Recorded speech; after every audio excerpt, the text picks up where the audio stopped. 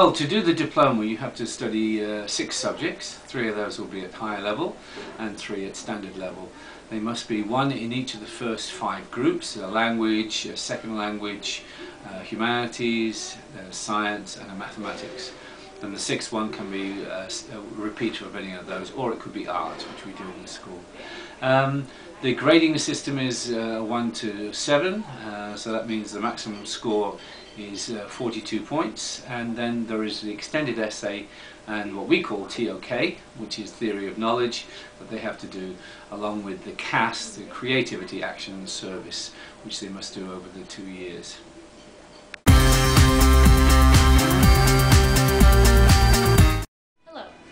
Parents who are planning on putting your child through the two-year IB diploma program, I have made an informative video which will give you all the necessary information that will help you make your decision.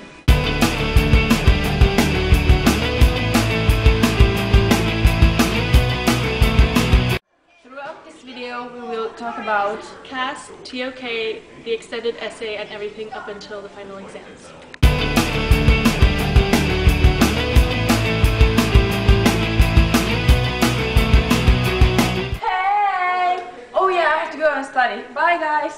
Well, there seems to be an eager IB student in there, so let's go interview her. Hi Polina, how are you? Hey Johanna, I'm good, how are you? I'm great, thanks. I was just wondering, what was the most difficult part of starting the IB? Um, probably choosing the courses. Hmm, interesting. The subject requirements for the IB diploma. Take a look.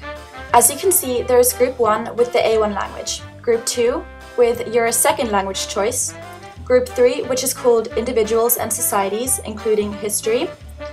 Group 4, Experimental Sciences, with Biology, Chemistry and Physics as options. Group 5, the Mathematics, and finally Group 6, the Arts.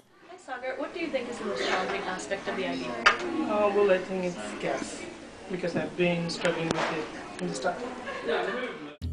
Next, we have CAS, Creativity, Action and Service.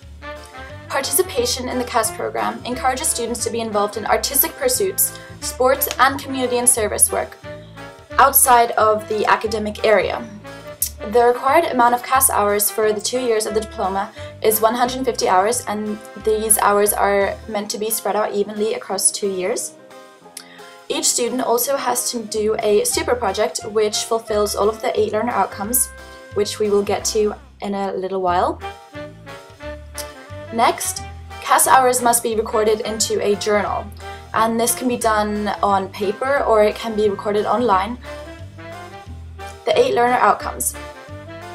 A few of these include undertaking new challenges, planning and initiating activities, showing perseverance and commitment in activities, engaging with issues of global importance, and developing new skills.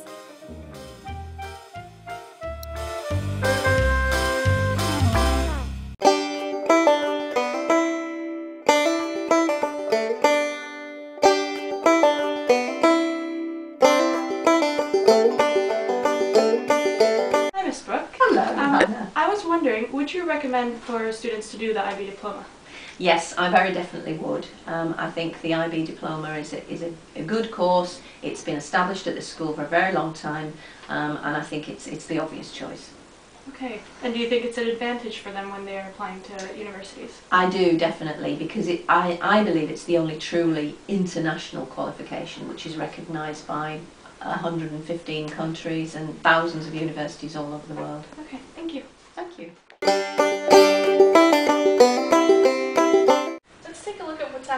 classroom. I think Mr. Gomanen, the TOK teacher, is in there.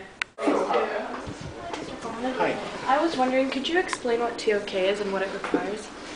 Well, TOK is a course which is required by all IB students all over the world and it's about knowing and how do we know what we know and how can we find out and we use different angles. We use perception, emotion, we use reason, we use language as of our primary primary uh, ways to know what we know.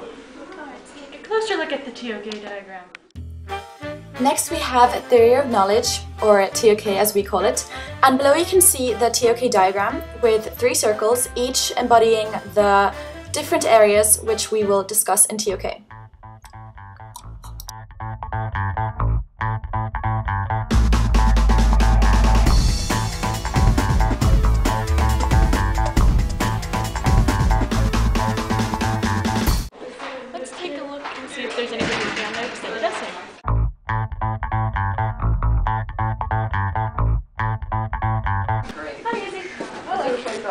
Working on? I am doing some work for my extended essay. Oh, what's your extended essay on?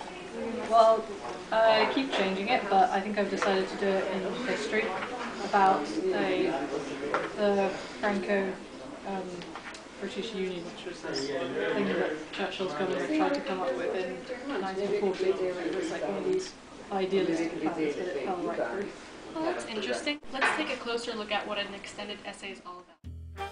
The extended essay is a very demanding piece of work which consists of 4,000 words maximum. Each student is required a supervisor who will guide and assist them in the creation of this demanding essay. Much research is required and students are expected to do a thorough job at this in order to achieve a good grade. watch my informative video on the IB. Yes, it sounds scary, intimidating, and like a lot of work, yet the end result is completely worth it. A diploma which gives you the chance to be accepted into universities around the world. A chance to be cultured, educated, and international in any society where you go. Why not give the best for your kids?